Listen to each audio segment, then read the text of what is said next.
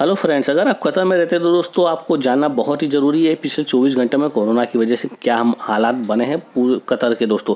पिछले 24 घंटे में कतर में 700 नए मरीज़ आए हैं, इक्यावन लोगों की मौत हुई है, साथ में पंद्रह लोग आईसीयू में भी हैं दोस्तों। इसके अलावा और क्या डिटेल है कोरोना की कतर में दोस्तों, चलिए देख लेते हैं, लेकिन उससे पहले बता दो चैनल पर पहली बार आए तो सब्सक्राइब बटन दबाकर घंटी वाला बटन ज़रूर दबाओ, जिससे कि कतर में होने वाली पल पल की अपडेट आपको पल पल मिलती रहे।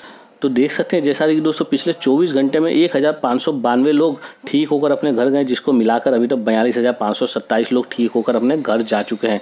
पिछले 24 घंटे में दोस्तों दो लोगों की मृत्यु हो गई है, जिसको मिलाकर इक्यावन लोगों की अभी तक मृत्यु हो चुकी है।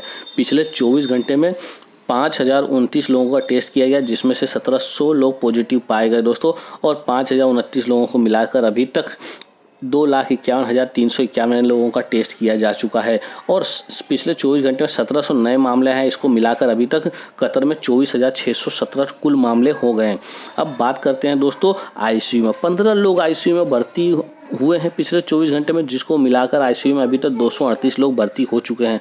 पिछले 24 घंटे में एक सौ तिरानवे मामले एक्यूट हॉस्पिटल एडमिशन के आए हैं दोस्तों, जिसको मिलाकर एक हज़ार छः सौ छत्तीस मामले हो गए एक्यूट हॉस्पिटल एडमिशन के। अगर आप भी कतर में रहते हो दोस्तों, और हेल्थ से रिलेटेड स्वास्थ्य से रिलेटेड कोई समस्या है तो सोलह हज़ार नंबर पर फ़ोन करें। आपका फ़ोन तुरंत उठाया जाएगा। आपको जो समस्या है बताइए। आपका इलाज भी किया जाएगा फ़ोन पर जहाँ तक हो सकेगा। और उसके बाद आपको क्या करना है वो भी बताया कराया जाएगा, वो भी बिल्कुल फ्री में कतर गवर्नमेंट की तरफ़ से जितना हो सकेगा, वो सब ताउफ आपको ज़्यादा से ज़्यादा ताउन फरमाएँगे। दोस्तों, फ़िलहाल चैनल को सब्सक्राइब कर दो वीडियो को शेयर कर दो।